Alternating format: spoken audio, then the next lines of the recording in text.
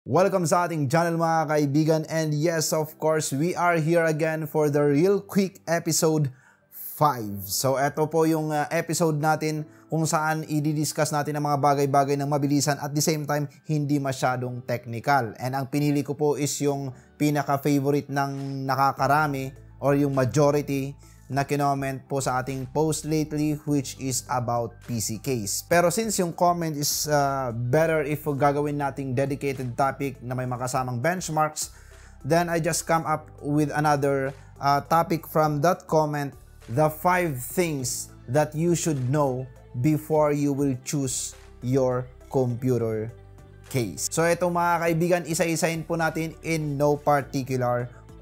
For more videos like this, feel free to subscribe. This video is brought to you by SCDKey, the best website that you may visit in terms of uh, very affordable deals and best offer para sa application softwares, games, and yes, operating system. And there you are, you may check the Windows 10 Pro and by using our promo code, ma-avail mo lang siya ng around $14.95 or 700 plus pesos. That's it mga kaibigan. Check the description below. May mga links po tayo dyan to go directly sa kanilang website. Okay, so eto na nga. Nakapili ka na ng mga PC components mo or hindi ka pa nakapili ng mga PC components mo and here you will come and choose your computer chassis. Eto ngayon ang pinakauna mong dapat malaman. Anong size ang pipiliin mo. Dati-rati mayroong mga tinatawag na mini tower, mid tower, full tower, pero since medyo iba na yung approach ng market, sobrang dami ng variants. So hindi na natin masyadong ma-distinguish minsan kung ano ang mini tower, mini ITX. So we'll just be going to the more mainstream choices which is there is a mini ITX na compatible lang sa mga mini ITX motherboard. And of course a mid tower chassis that is also compatible for the micro ATX motherboard. And mid-tower chassis na compatible up to full ATX motherboard. So eto po sila, halos tatlo yung nasa mid-tower lineup. And here is the full tower that is compatible up to the extended ATX motherboard. Ngayon, extended ATX, these are the motherboards that is bigger than the full ATX. It's not all of the time na full tower lang ang merong extended ATX. Meron ding mga mid towers. Yun nga lang, in most cases naman mga kaibigan, pag compatible sa extended ATX is compatible na rin po siya sa ATX. Same with the ATX mid tower, compatible na rin siya sa micro ATX. Yun nga lang, lagi kong sinasabi mga kaibigan na dapat nating ibagay kung ano yung motherboard natin. Of course, if you grab a micro ATX motherboard, you should go for a micro ATX chassis. Huwag yung ATX kasi para siyang naka-mini skirt pag nilagay mo yung micro ATX motherboard sa isang uh, pang full ATX or ATX chassis. So ayan po yung dapat mo munang malaman. Ma-identify mo muna kung anong size ng chassis ang bibilihin mo and that is always in most cases dependent kung anong motherboard size ang bibilhin mo. Now, let's move on to the aesthetics and design. So, kailangan malaman mo kung ano yung pasok sa panlasa mo. Mahirap naman kasing bibili ka ng isang chassis tapos hindi naman uh, pasok sa panlasa mo, lalong-lalo na yan yung kadalasan mong makikita dun sa whole computer mo. Kumbaga, pag meron ka ng build, anong una mong mapapansin? Siyempre, yung design ng chassis, yung exterior side, hindi yung interior. Kailangan mong malaman kung uh, trip mo ba yung ganito na medyo may konting uh, uh, emboss sa harap, naka-protrude yung harap, medyo robotic, aggressive, ganon.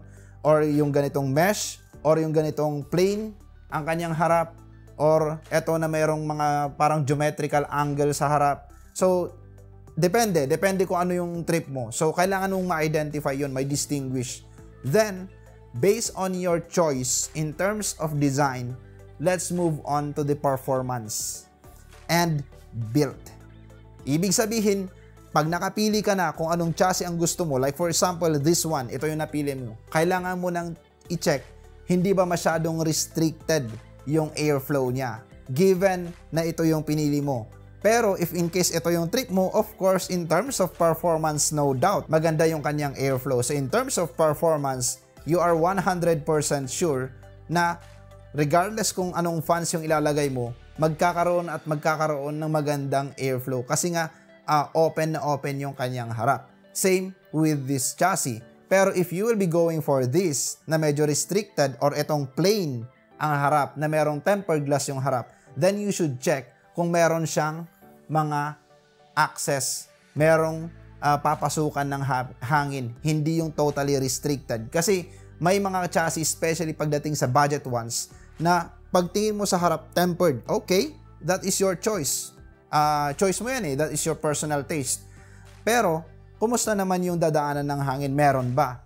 dapat kahit papaano meron. Kasi hindi naman natin pwedeng i-push na laging ito yung piliin nila. Lalong-lalo na't hindi naman tayo lahat pare-pareho ang panlasa. And at the same time, merong mga aircon naman yung room or maganda naman yung kanilang ventilation and ambient temperature. So, it's okay for them to have those kind of chassis na kahit hindi ganun kaganda or hindi uh, kumbaga may konting restriction ng airflow as long as merong dadaanan or merong access ng intake which is with this, meron po siya. Same with those deep cool matrix, same with the other chassis, like for example, the NZXT, yung uh, harap niya sobrang plain, pero meron po dito sa side ang mga konting uh, holes, kumbaga mesh, for the intake. So pwede kang maglagay ngayon ng mas maraming fans for a negative pressure setup. If uh, mainit talaga sa inyo, it's better if you will go for this kind of case na maganda yung airflow. And then the fourth is clearance. How is the radiator placement? Can you uh, mount radiator at the top, which is uh, the best position for the radiator? And then another thing is, if you will be going for an air cooler setup, kumusta naman yung height ng air cooler mo?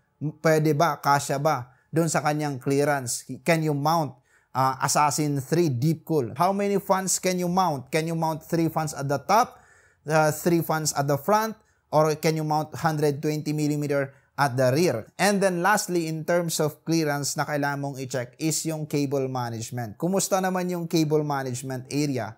Kahit paano nabigyan ka ba ng 1.5 inches na clearance dito para sa cable management? Or do you have enough room sa may PSU shroud mo para doon mo itago yung mga iba't ibang cables na matitira? Or um, how is the cutouts? Kaya mo bang mag-route ng 24 pin? Or kahit pa paano, dito ba sa ilalim, meron bang daanan ng uh, uh, cable para sa video card? Yun, kailangan mong i-identify din yung mga yun. Kasi kung wala yung mga yun, automatically you will suffer in terms of cable management. And uh, I think even uh, budget chassis, especially uh, chassis like uh, Techwear, uh, maraming mga brands dyan na kahit paano, kahit mura lang yung chassis, those are the parts na hindi naman na compromise. So we have a wide array of choices here in the Philippines. And lastly is the budget. Saka mo na lang iisipin yung budget kung na-figure out mo na kung ano yung gusto mong chassis. Kasi with the budget, you can now play around and search for more choices of chassis from budget to mid-range to enthusiast build dahil na-figure out mo na yung gusto mo. Ang hirap kasing mag-decide ng isang bagay or mag isip kung magkano yung gagastusin mo kung wala ka pa rin namang masyadong idea pagdating sa mga features na dapat mong malaman about sa isang bagay. May it be an appliances or any kind of uh, purchase na gagawin mo, kailangan mo munang malaman yung character, yung characteristics, I mean, ng isang bagay, features ng isang bagay na dapat mong tingnan before you will plan. Kasi in any uh, kind of uh, product naman, meron naman laging mga options. Another tips that I may share to you is choose chassis that comes with triple fans or more. Kasi mas makakatipid kayo ng mga around 50% nung uh, costing. Like for example, ito yung pinili mo worth 2.7. Merong isang chassis na worth 2,000 lang. Pero wala siyang fans. Ito meron na siyang kasamang fans. Ngayon bibili ka ngayon ng uh, triple fan pack. Mga around 2K more or less.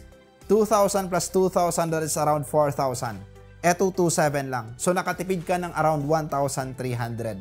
Pero syempre, kailangan i-consider mo rin yung mga included funds. Kung okay ba yung mga funds na included.